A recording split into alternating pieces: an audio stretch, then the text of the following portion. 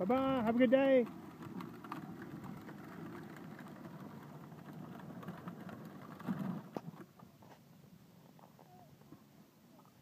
Hey, tell Paul to have a good day. So have a good day at work.